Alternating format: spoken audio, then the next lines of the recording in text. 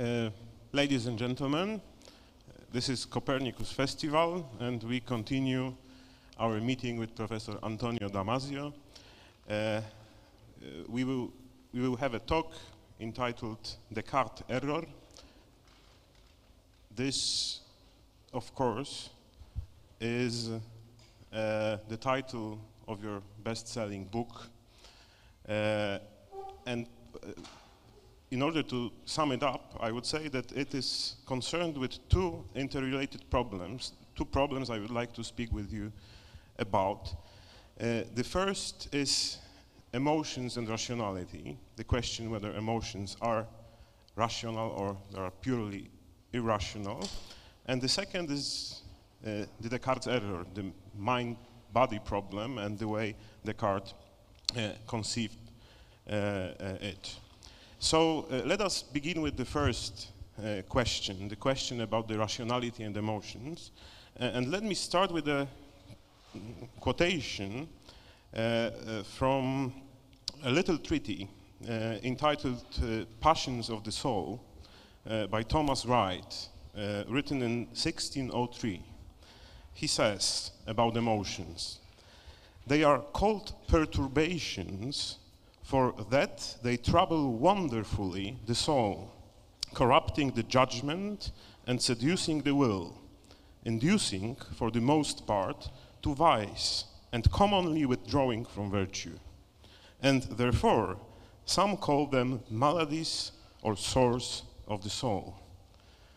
I believe this is something which many of us have experienced, that when we experience very strong emotions, our rationality suffers in one way or another.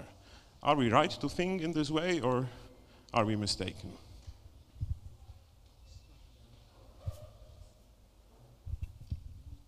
Yeah, works.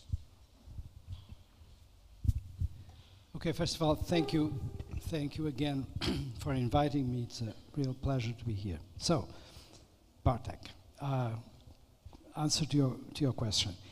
I think it's both. I think you, you cannot um, dismiss emotions simply by saying that they are rational or they are irrational. Even the same kind of emotion may turn out to be quite helpful and rational in certain circumstances and be terrible in others. Uh, what we need is to realize that they are, to begin with, um, patterns of behavior that are reasonably fixed, but not fixed in a stereotyped way. So we don't have the same joy, the same sadness over and over again, although we can all recognize in others certain reactions, and that's the reason why people can say so and so is sad or unhappy, and so and so is angry. So there, there, certain parts of the pattern that fit and that allow us to make the diagnosis, which is the reason that I, I find it a little bit extreme when some people complain about uh, um, so an essentialism of the emotions and say, well, it's, it's not, there are no fixed patterns. Well, there are no fixed patterns, but there are things that are extremely similar and that allow us to recognize emotions across the board and, and we do all the time. And that's the reason why actors can mimic certain emotions and we will recognize those emotions and be part of our understanding of a certain situation. But that, that pattern of behavior came not because we wanted it to be in a certain way or that we invented it. It came to be by a process of selection over biological evolution and they are there in a very specific manner because they were helpful. So to begin with, whether they are slightly irrational or very rational in the day-to-day circumstances for you or for me is no concern of biology. You know, evolutionary, uh, the evolutionary process kept them there because by and large they happen to be advantageous for the creatures that had them and that's why we're all still here to tell it. Um, so in certain circumstances, uh, again, I go back to the example of anger Uh, and this is something that is interesting, especially now, because in the social and political moment, there is so much anger. Whichever country you're talking about uh, that is having elections or is having economic problems, one of the things that surfaces in the discourse very frequently is anger. Party X uh, says that we are extremely angry at so and so for doing this. We're angry at globalization, or we're angry at the European Parliament, or we're angry at uh, uh, overregulation and so forth. So there's this pattern of anger, and one wonders is this helpful? Um, well, it doesn't seem like the most intelligent way of dealing with it. And I would say that it's one of those reactions that is understandable, but not, is an example of not the optimal rationality. Because it would be much better if we would say, okay, this is disappointing, let's find an interesting, intellectually uh, reasonably drawn way in which we can solve the problem. Yeah. But um, maybe we, should rephrase the problem. Because when we think of the philosophical ways of understanding rationality, there are two different approaches to the problem. The first one is to create some very high standard uh, of rational behavior, uh, of rational choosing. Uh, for example, uh, the entire classical economics is based uh, on the idea that uh, people are or should be utility maximizers. So they should uh, act in such a way that they always maximize their profits and minimize their, their losses. And of course, from this perspective, I believe emotions uh, lead us to decisions which may not meet this particular standard of rationality. But philosophers also speak of a different kind of rationality, of uh, which is displayed best when we think of how an organism is fit to survive in a given environment. And this is the so-called ecological rationality. So maybe we should rather say that uh, if we think of the rationality of emotions, uh, whether they are rational or not, we should think in terms of the, this ecological rationality, of how well it uh, makes uh, the, an organism act in an environment, rather than this constructivist or this very high standard of rational behavior. Absolutely, I entirely agree with you. I think that the, the, the, the, best solution is whatever works. And in some cases, I mean, the, the, the problems are not all the same. So in some circumstances, that's exactly the best way of approaching it, and um, and, and being as flexible. You know, there's something uh, uh, on the side of rationality. There's another concept that is, I think, is very important, which is the concept of reasonableness. You know, one thing is being rational, another thing is being reasonable, and and reasonableness is extremely helpful in guiding behavior. But you have to realize that the the, the the different circumstances in which we behave with an emotional component is huge. And uh, emotions can be dragged into the, and are dragged into the process more often than not. And the, the, the range of them, you know, in a way, uh, you know, you, you have chosen to have the Ekman uh, expressions of emotion very prominent uh, in your in your posters, which is a good idea because they actually connect very well with Darwin, uh, who first thought of them. But the fact is that the range is much larger than that. It's not infinite. It's infinite in the gradations, but you, you have a huge range of, of sort of pre-prepared uh, emotional reactions. Yeah, and uh, this leads me to another question about the mechanisms, emotion-based mechanisms, uh, which help us to deal with the environment and with other people. And of course, you are quite famous for uh, a theory, uh, the so-called uh, somatic marker hypothesis, uh, which uh, I believe you and other people connect with the workings of the human intuition. So, may, may, you say a few words first about the, the, hypothesis itself, and then I would like to discuss the problem of intuition and how emotions help us to intuitively adapt to the circumstances which we meet in our daily lives. Right. So it, uh, intuition is actually something very interesting because it certainly is can be connected with with emotion. We, but it it also can be connected with some concept with a concept that is not very much in fashion, which is the concept of big data. This is something that comes from developments in in computational uh, neuroscience and artificial intelligence and their applications. Um, and it is the idea that you sweep huge amounts of data that have been stored and out of certain patterns that certain regularities in those patterns you come up with certain um, with certain ideas and those ideas have the, the, the flavor of intuition which is a sort of guess that that may be something. Uh, and intuition is, is this uh, way in which we, we sweep constantly in our mind stores uh, about things that we have lived through uh, and things that we have imagined because we're constantly prospecting uh, about what is going to be tomorrow or in my case when am i going to have a glass of wine tonight and things of that sort and intuition is what happens when you say haha it may be x um, and so it's a, an extremely important uh, problem now does intuition relate to somatic marker hypotheses? In a way, yes.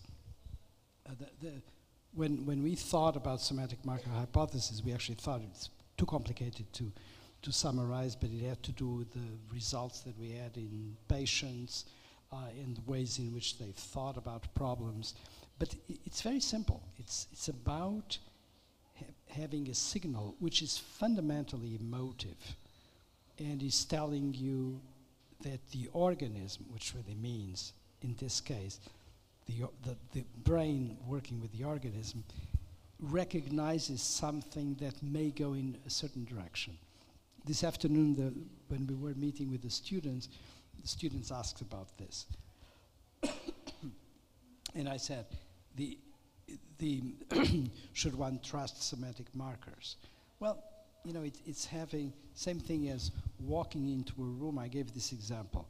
You walk into a room and you sense that something is not going to work right, or on the contrary, you sense, I feel well here. It's going to work well. Which, by the way, if you have to lecture, it happens all the time. You know, you may walk into a room and you and you look at people and you feel well to be there and you want to start talking. Or you may walk into a room and say, My God, what am I doing here? Not the case here. Uh, on the contrary. So, what is that? What it is, is that your brain, rather than going one by one collecting information, your brain is actually working very fast and collecting a lot of uh, dominant information from people, from a room, from whatever, the architecture, the lights, you name it. And all of those things produce a certain emotive state that you then read out as being positive or negative. That's what a somatic marker is. It's the, the natural readout of your state as induced by a certain by a certain situation. And it may be that it's a good readout and that you that your your brain, in other words your organism, detected s- something in the environment that is potentially dangerous, or on the contrary, detected something in the environment that is beautiful and that makes you feel well. And then it's up to you to either heed the advice or not. You may sit on the advice and say, the hell with it, I don't care. Or you may say, hmm, this is interesting, let me think about it. And this is how one normally leads life. You're constantly listening to this. Uh, and the more you're able to listen to these signals, the more you're actually able to mature an attitude which is to regard them in certain circumstances and disregard them in other circumstances. And that, that's, that, that's part of our process of maturation. And it can lead you into very wrong things, you know. It can lead you, for example, into walking into a room and being superstitious because you walked on the wrong side. And that's bad. You, you obviously don't want to be limited that way. But it may give you very good information. I, I think that there is a very important point here, uh, which I think you've very well summarized in one passage in the introduction to Descartes' error. Uh, you say that the quality of one's intuition depends on how well we have reasoned in the past, on how well we have classified the events of our past experience in relation to the emotions that preceded and followed them and also on how well we have reflected on the successes and failures of our past intuitions. Beautiful. Whoever wrote that was very smart. Yeah, that's exactly. I, ha I, have the name here. I can tell you later. Yeah, yeah. Uh, but, but, but, you know, Bartek, yeah. let me just interrupt because that's exactly it, and that's why it goes back to the point that I was making at the beginning. This is not a matter of preferring emotions and feelings over intellect. It's both. The, the more you educate your life in terms of feeling in connection to the, the reality you can appreciate, the better the better advice you're going to get. Yeah, uh, uh, let me check whether whether I understand it well or not. Uh, you, you for do, instance, for instance, when you think of uh, uh, doctors or lawyers, yeah. in, in, legal philosophy there is a famous theory of the so-called hunch. Uh, uh, and this is a kind of the faculty of mind very close to intuition, which characterizes good judges.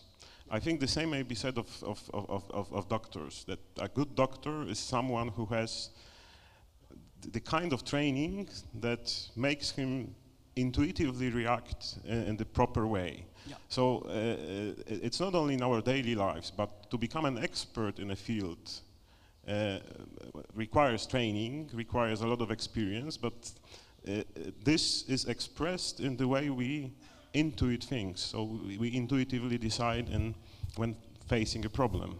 Entirely agree. I think you you absolutely touched on something very important, which is, by the way, one of the things that has been a limit to the success of certain forms of artificial intelligence is that they lack they have lacked so far that possibility. So there's that, that element of educated um, hunch is missing. Although th that's one of the things that people in Silicon Valley are trying very hard to, to substitute. In fact, there was some, for example, in the, the, the recent successes of, of Go, uh, of the program that played Go uh, with, the, with the champion of Go, um, there was there were things that were very surprising for the champion, the human champion, uh, because it sort of mimicked hunches, and that this obviously is a progress, which doesn't mean that it's going to go anywhere human, but, but at, at least it was a step in that direction. Well, if, if, I remember well, uh, when Deep Blue won with Kasparov, uh, Douglas Hofstadter uh, said that it, well, this fact speaks to the nature of chess as a game, not to the nature of human intelligence. Pretty smart comment. yeah. Uh, well, uh, if, if, I wanted to sum up this part of our discussion about the uh, human rationality and the role of emotions, uh, I, am forced to ask the question, would human rationality be possible without emotions? Can you imagine such an evolutionary scenario? No, no. And I think that I, I, would say definitely not. And I think that what characterizes human rationality is precisely the fact that it's a, a negotiated process between the part that has to do with feelings, which has to do with homeostasis, with which comes from early life, with the part that was acquired once we were expressing computational aspects of, uh, you know, intellectual operation. And it, it's that marriage that makes, that makes um, our humanity, that, that, that, that marriage that is, in which, by the way, one, one identifies very naturally as human beings. We identify it we, when we have people that are, say, our leaders in, in a socio-political context that don't have that, it's, it's clearly recognizable. So uh, it was in a different context, but David Hume once said that reason is the slave of the passions. Uh, from what I understand, you wouldn't say, well, this is exactly true.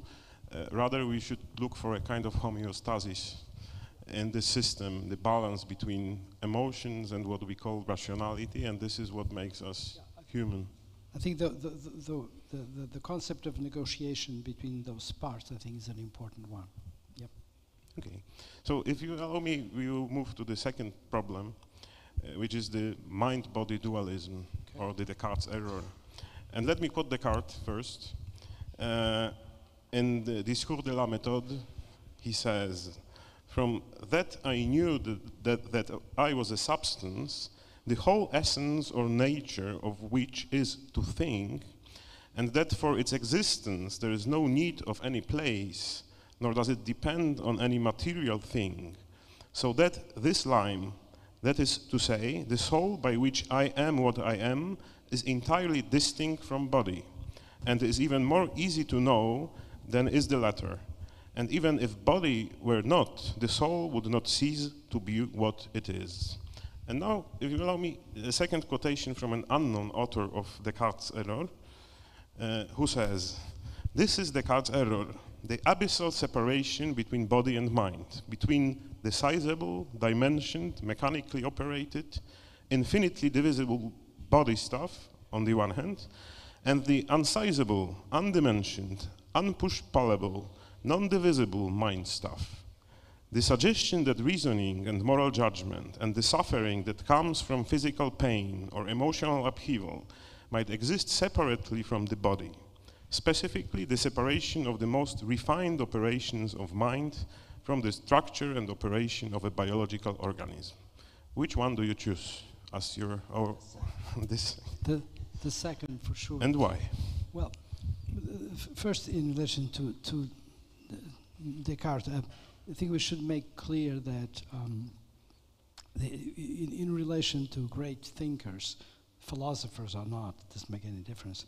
Um, my, my, my reaction is that even if there are things that are egregiously wrong, uh, it's a great fortune and we should be very thankful that they wrote it. Uh, you know, we, we, we don't write correct things all the time. Sometimes we write, sometimes we're not.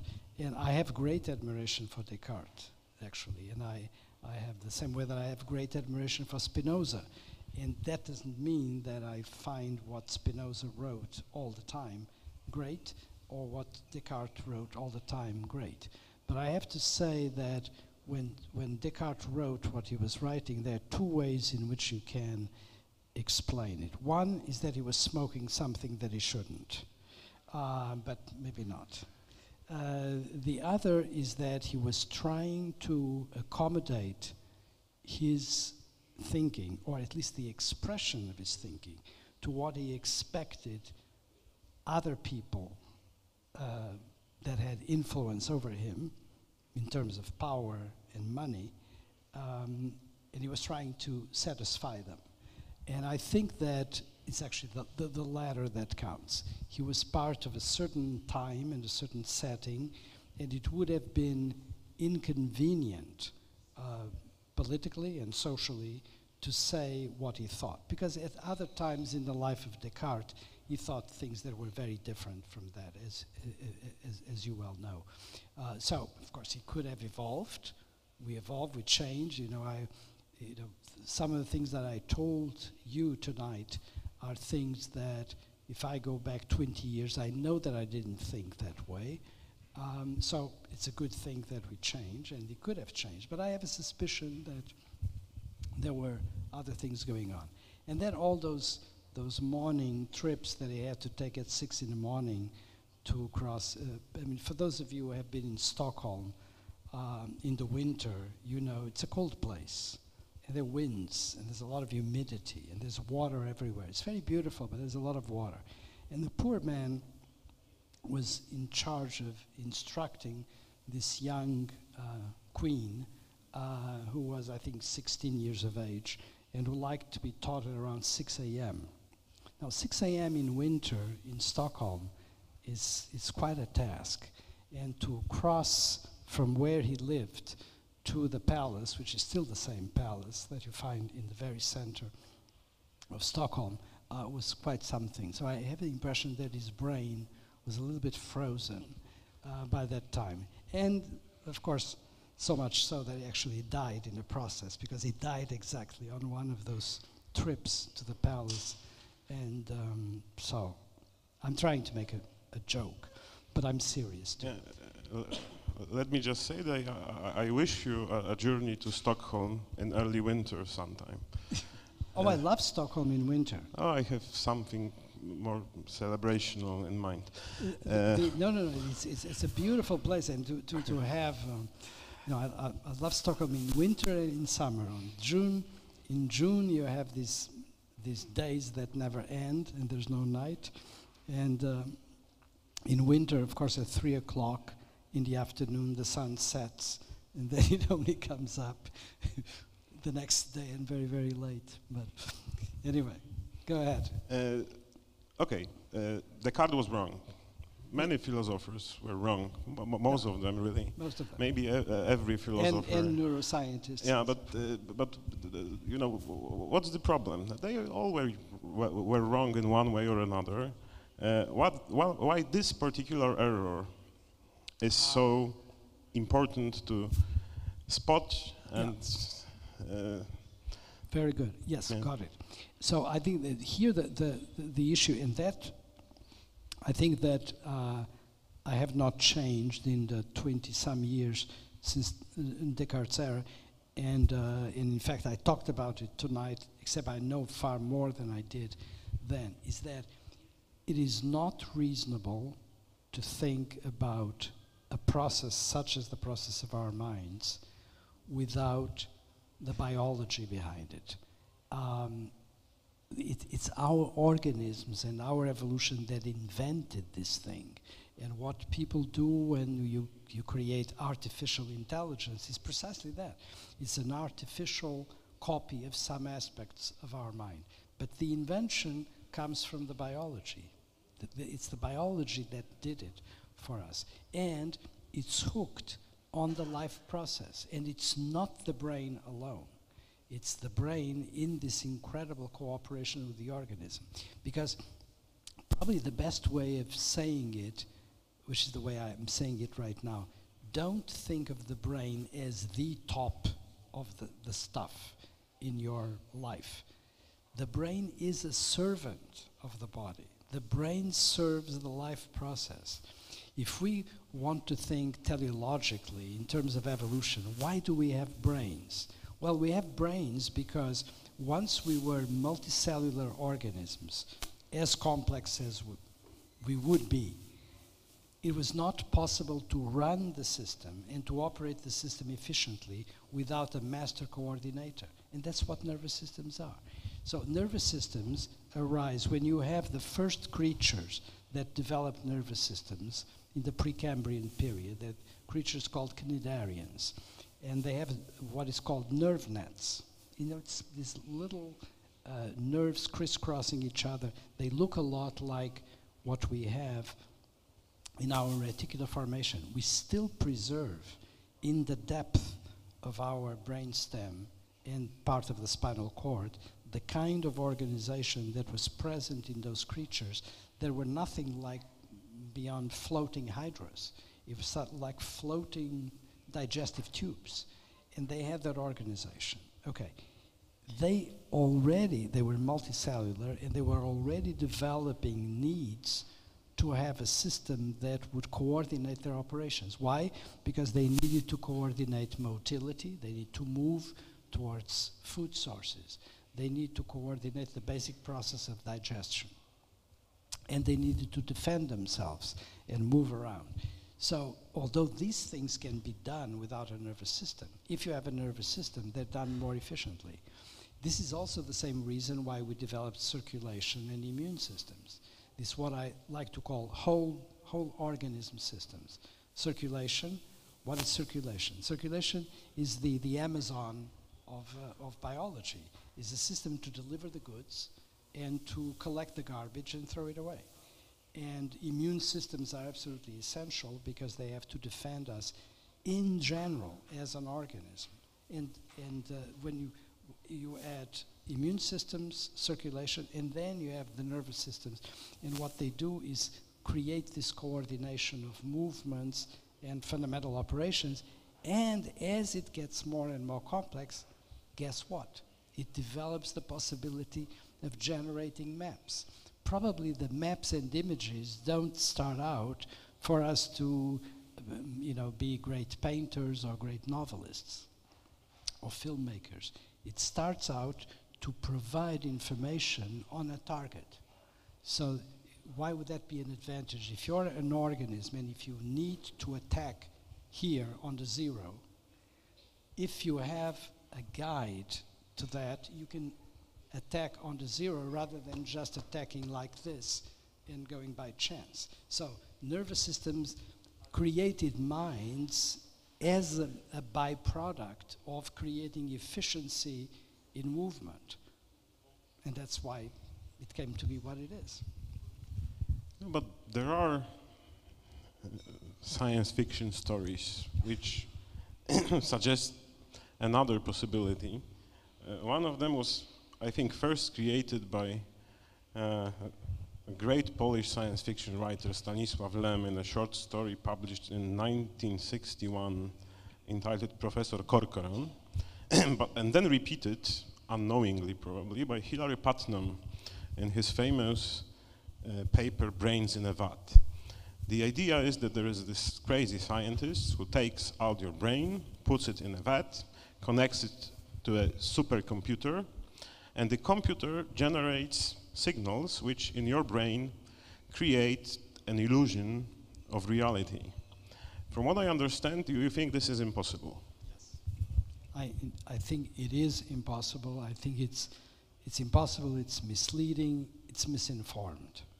And I don't think there's anything in the biology that suggests that, which is also one of the reasons why a lot of the so called transhumanism and singularity and other such things uh, has any basis in reality. So the idea that we have a brain that we can download into a computer, I, I think is fiction.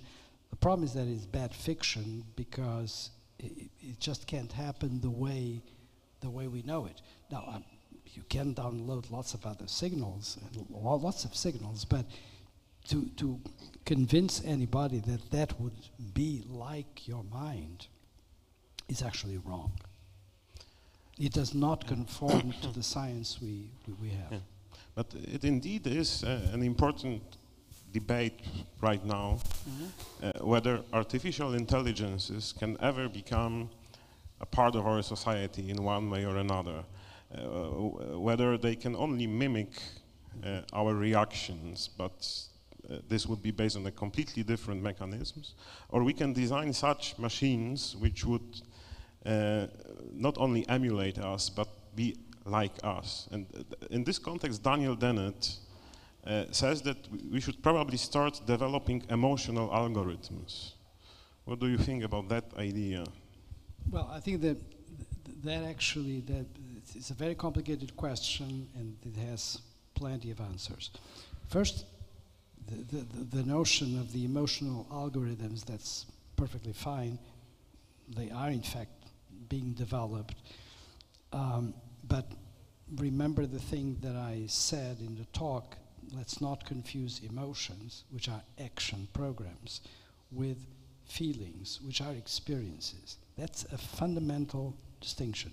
If you're talking about consciousness, you're talking about subjectivity, you're talking about the private impression that everyone in this room has about the world and about she or himself. Okay?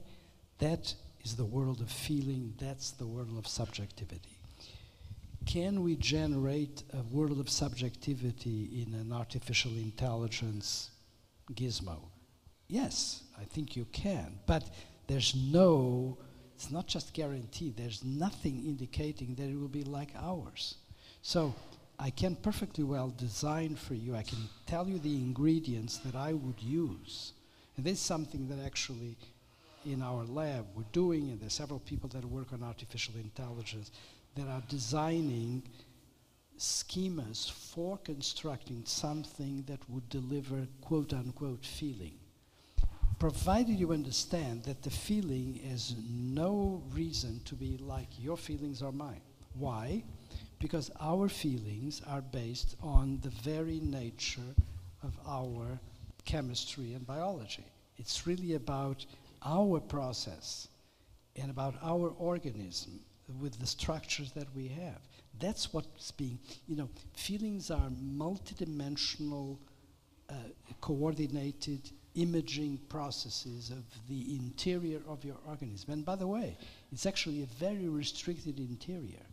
All it takes is the organs that are in the chest and in the abdomen and in certain aspects of the largest of the viscera, which is the, the skin. That's it. You don't need to image many other things. But unless you produce the equivalence of those things in the artificial uh, um, creature, why should the feeling be the same? There's no principled reason why you should expect the same thing. It should be a different thing. But formally, it can be the same thing. And, and, and my, my, my claim is always that you can formally create a system that is comparable, that has the same characteristics, but not if the, the, the, the, the, the, in other words, the substrate is essential, which is the reason why I'm, I'm very sad when I see people saying, well, you know, the brains are algorithms and uh, it's all a question of finding the right algorithm. Well, it's not. You know, the idea, of course, the, the, there's, a, there's nothing wrong with describing uh, biological processes algorithmically. Of course, there are aspects that are, can be captured by algorithms.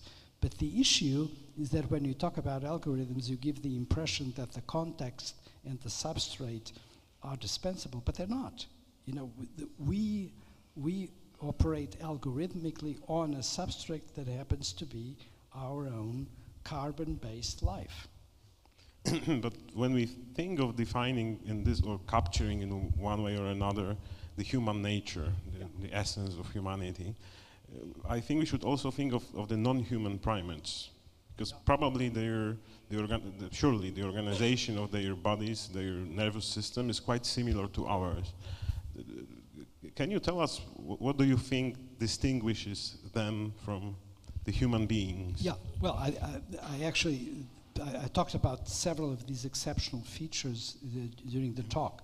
Well, one which is obviously is the scope of our intellect, which I think is uh, considerably wider.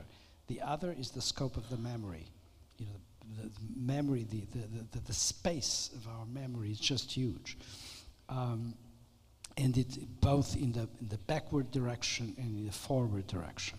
And there are more and more things being discovered about memory, uh, including, for example, something that has a lot to do with, with the emotions and feelings, the fact that stress is an extremely important factor in the quality of the memory. The more stress you have, the less memory you're going to have.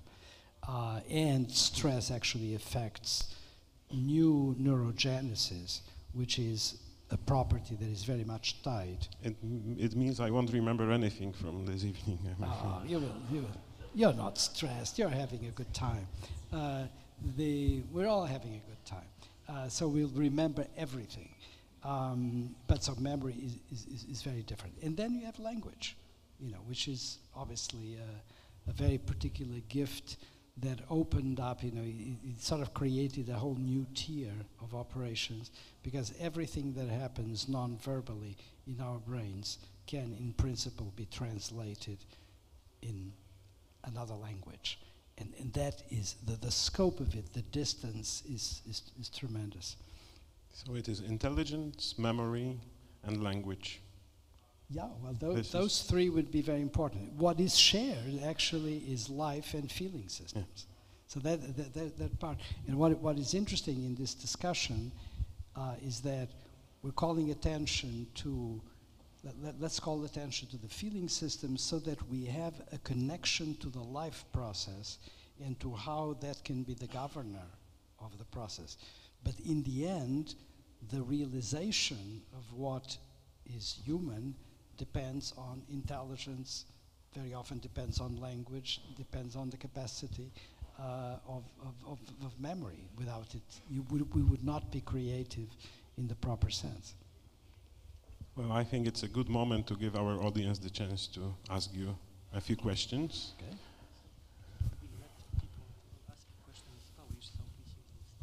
If they are asked, you can also ask, e, możecie Państwo zadawać te pytania także po polsku. W takiej sytuacji zostaną Panu Profesorowi przetłumaczone.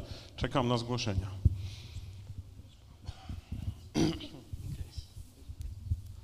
Działa. Ja po polsku może spytam, prosiłbym o przetłumaczenie. E, Jeżeli można mówić o właśnie racjonalności i emocjach jako dwóch nie wiem, funkcjach e, ludzkiej psychiki i czasem się zdarza tak, że one są do siebie w kontrze. Na przykład w przypadku nałogów, że emocje nam mówią, że chcielibyśmy coś zrobić, a rozum mówi, żebyśmy tego nie chcieli. I teraz tak, czy trzeba założyć, że jest jakaś trzecia siła, która jakby negocjuje, czy podejmuje decyzję? Bo zawsze podejmujemy decyzję w tą albo we w tą i jakby próbuję zrozumieć, y, jaka część aparatu psychicznego decyduje właśnie o tym, o tym wyborze. Jeszcze jedno, czy ona jest bardziej racjonalna, czy emocjonalna?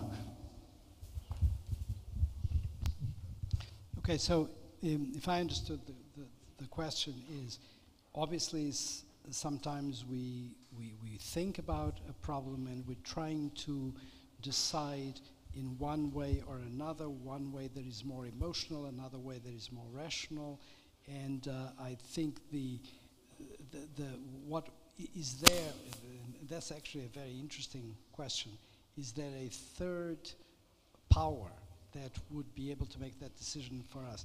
No, I think the third power is part of one of the powers, which is reason, knowledge, reflection, discernment.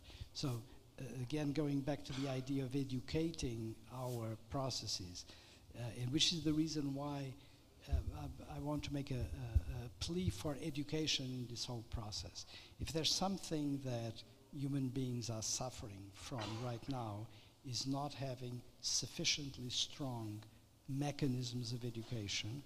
Not only the education that you get in school, primary and secondary schools, or in universities, but having the regular education of knowing about social affairs and knowing how to think through social affairs without being uh, guided by social media or by cheap entertainment oriented uh, outlets. We need to think through the problems, and that can only be acquired by a continued effort of education, which is, of course, the mark of civilization. Okay? And it's, that is the third power. It's the part of our educated systems that can help us decide between A or B and help us fly above what may be an impulse to be angry or violent or dismissive about somebody else. Okay? Thank you. Very good question. Another question right there.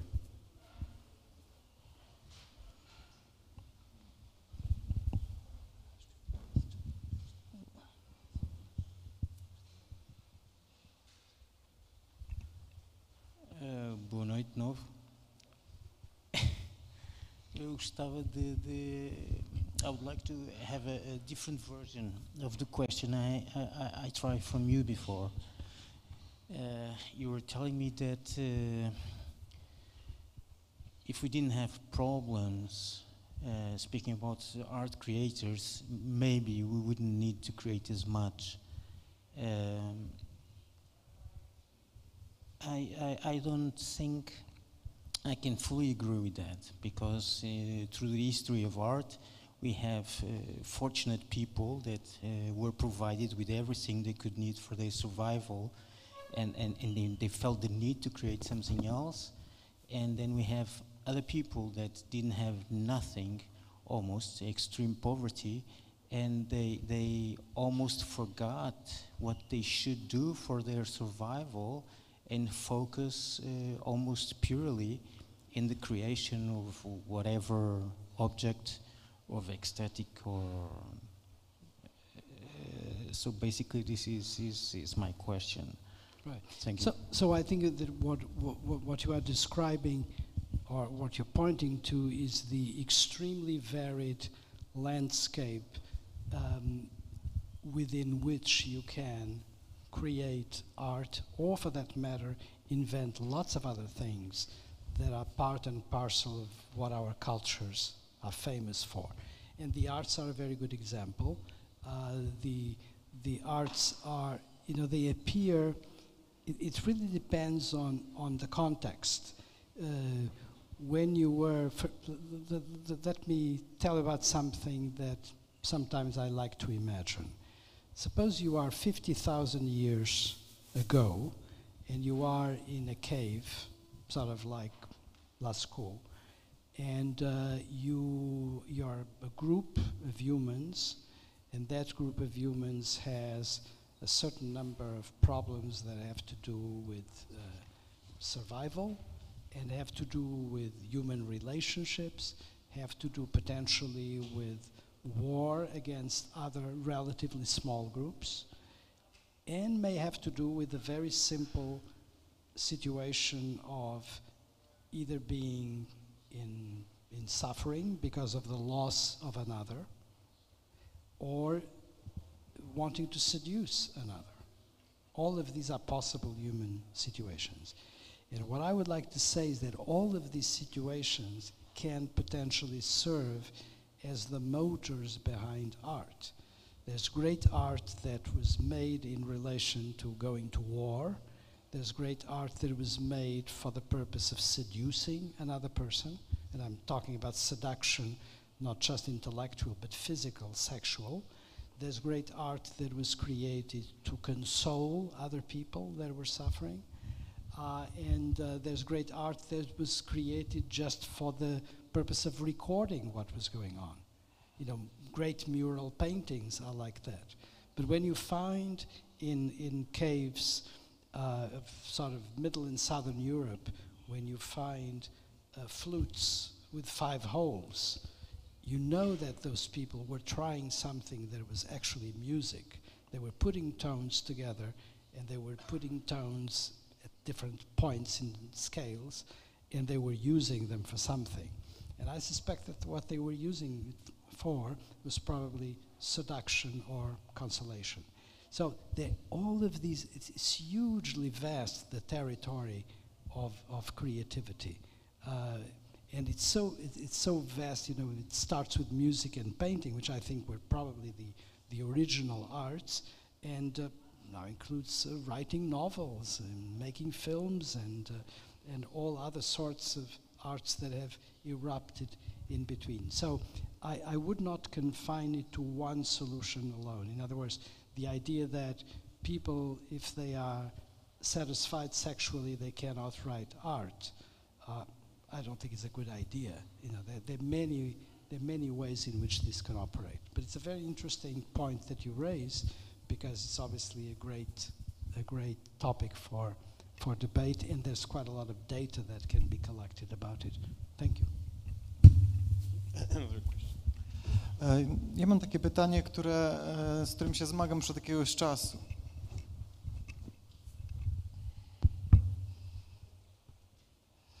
E, Mam pytanie, z którym się zmagam od jakiegoś czasu. Na co dzień zajmuję się zaburzeniami psychicznymi w swojej praktyce i mam taką e, refleksję, że e, emocje, te, które, e, które Pan jakoś nazywa, że są programami działania, które jakoś mobilizują do działania, są produktem ewolucji i że mm, służyły jakoś mm, przystosowaniu. I moje pytanie jest, na ile ten, te przystosowanie, które no kiedyś powstało dawno temu, prawda, we współczesnym świecie, nie, dla współczesnego człowieka, jest, e, no dalej, dalej dobrze mu służy, nie? Czy, czy ten system, czy te programy dalej mu e, dobrze służą. E, No, jakie Pan ma myśli na ten temat? Czy Pan się na ten temat zastanawiał? Czy właśnie, no, tyle może. Dziękuję.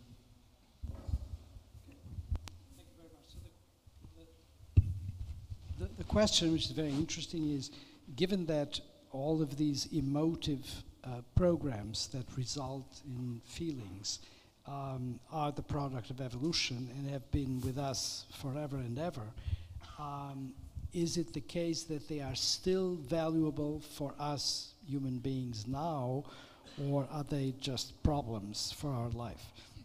And once again, as with the, the, the, the question of our um, moderator and organizer, uh, it's, it's the, the issue of rationality and the issue of the value of emotions now. In some cases, they're very good. In some other cases, not so good. It depends. For sure, we would not survive if we did not have this emotional apparatus available to us. It's absolutely critical for survival. It's critical for survival from very early on in the process. So I think that tomorrow we're going to have a talk by Dr. Karen Wynn, uh, in, in who works with young uh, children and, uh, and babies. And we know that there are things that are happening in the relation between the mother and the baby that are, you know, you can describe them as social, but they are fundamentally affective relations that are going on and that create the bond and that create the, the, the, the, the relationship between the mother and the child or between the, the child and the father because they, those relations are there too. So from, from very early on, we are dependent on these emotions. Th- there's no way we're going to be rid of these emotions anytime soon, unless, of course, you destroy humanity first and you come up with something else um, that I don't want to think about. Okay, be- before we move to the next question from the audience, I have a question from the internet chat. Internet chat. Uh, and here it is. Uh, as artificial intelligence is being developed and should, in the near future, not only reach but also surpass the level of human abilities, would you talk about a, uh, about a homeostasis in the case of artificial intelligence? The question was posed by Hannah, but I, I don't believe it was your wife who, who formulated. Okay, so the the uh, the, the idea that um, artificial intelligence will, will surpass, uh, will allow will, will, will allow devices to surpass human intelligence is not difficult at all to conceive. What is difficult to conceive is that you can have organisms, artificial organisms, that will be human like and intelligent, so that they can have, you know, just, just the sheer scope of memory that will be available to artificial devices, which is far larger than what we can ever have, is already a huge promissory note in order to get great intelligence. It's not the solution, but it helps. So we're probably going to have creatures, artificial creatures, that are far more intelligent than we are. The issue is do those creatures have characteristics that are like the characteristics of humans so that they can be human like? And that's where the doubts are. And then, in terms of homeostasis, we get to the critical issue. Homeostasis makes sense if you have a living organism that is vulnerable and that is at risk. That's the sense of it. If you, if you do not have an organism, of course, you can have an artificial organism made of silicone and steel and plastic and whatnot. If that organism is not subject to risk and is not going to decay its life, then there's no need for homeostasis. Then it's the same thing. What is the homeostasis of this table? Well, if you don't kick it, if you don't throw it and break it with a hammer, it will survive. Does it have homeostasis? I don't see the point of making, of, of making the statement. It- it's not, homeostasis is connected with life, and life is defined by the presence of risk the presence of the possibility of decay and death. That's what defines it. And I find it very charming when people go through great um, uh, iterations of the thought of uh, immortality. There are people that are very interested now in creating immortality for humans. Well, I- you know, I'm, I'm all in favor, provided you can live immortally and happy and healthy. If we're not going to live to age 850, sick and with Alzheimer's disease, I'm all in favor of it. The question is that the, the, the, the, the way in which we define most of what we've been talking about tonight is predicated on the existence of life and of life having risk and being vulnerable and therefore there being a point of termination. On the other hand, I'm perfectly aware of the fact that because we yearn for things that go beyond what we had when we started the march of civilization, um, you know, millions and millions of years ago, why not dream of it? I don't have anything wrong. I don't find anything wrong with that. The same way I don't find anything wrong with the idea of reducing diseases and having people be happier than they were and without diseases. And without a doubt, there's a possibility of increasing longevity. In fact, longevity is already increasing remarkably. The question is how do you manage all that and don't fall into the risks and, uh, and, and awful aspects of amoral behavior that we have had in other times in history in which people have thought about socially engineering life for the future. That's a very big problem. And all of these are great things to discuss, especially in a nice evening in Krakow, in a museum, and all of that. But they're things for which we do not have an answer. But there's nothing wrong with thinking about it and knowing what, knowing what we don't know. So maybe we will have an answer for the next question of the gentleman sitting in the front row. Okay. And then we should stop because there's that glass of wine that, uh, Indeed. That's in my prospects. My somatic markers exactly. kind of my somatic say the same thing. Yeah. Yeah. Yes, sir. Yes, at the end of your lecture and also in your uh, response that you have now uttered, uh, you, you have mentioned death as something important. And uh, my question is simple: How is what is the function of that uh, within the self? Uh, preserving, self-optimizing, self-regulatory organism, em- em- an embodied one, if death means the possibility of some presupposed ultimate uh, resol- resolving of the, of the organism that is based upon embodiment, and therefore, how, how, can we even speak of homeostasis if this uh, model uh, no longer applies and there is nothing to regulate? Uh, so, how, this perspective, how does it? Right. the so- representation of this perspective, how it influences the whole system. So you're, let me see if I understand your question, I'm not sure I do.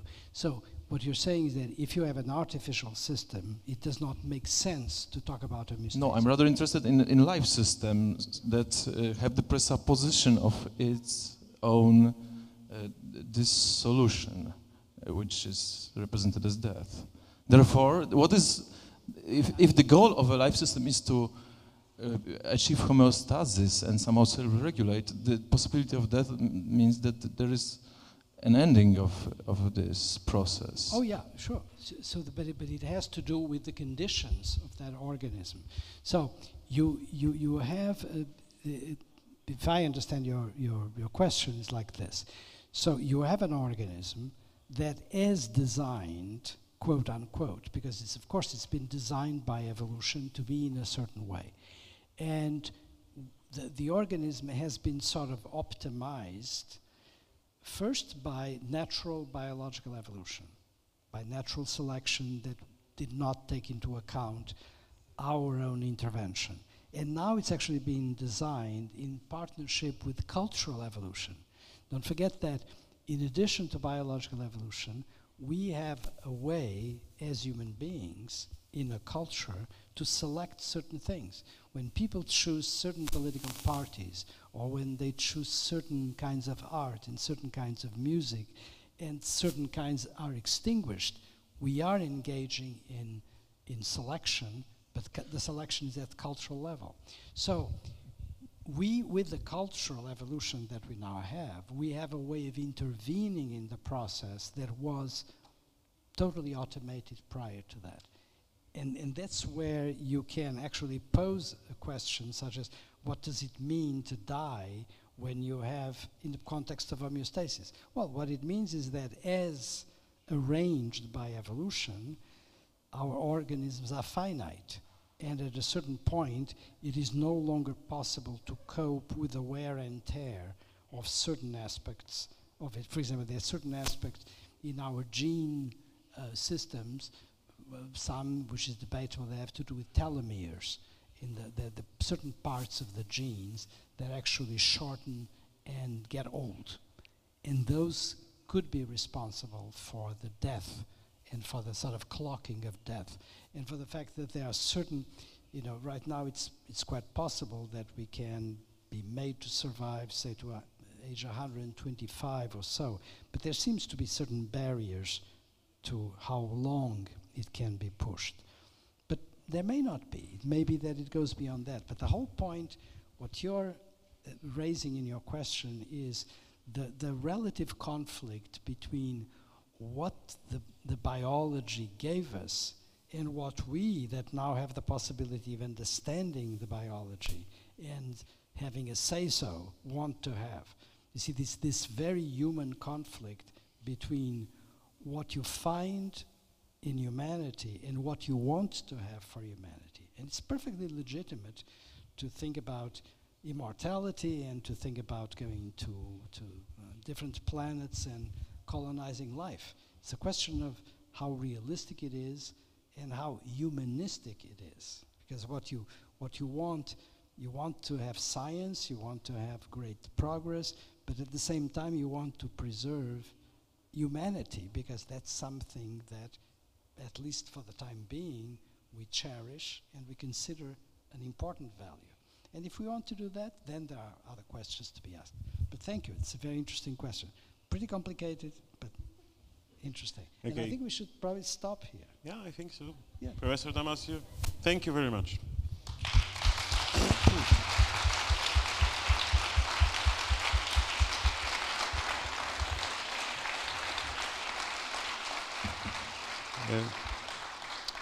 Szanowni Państwo, chciałem jeszcze zaprosić na kolejne wydarzenia festiwalowe. To dopiero pierwszy dzień. Jesteśmy z Państwem do niedzieli. Szczegóły w katalogu festiwalowym i na naszej stronie internetowej. Zapraszam.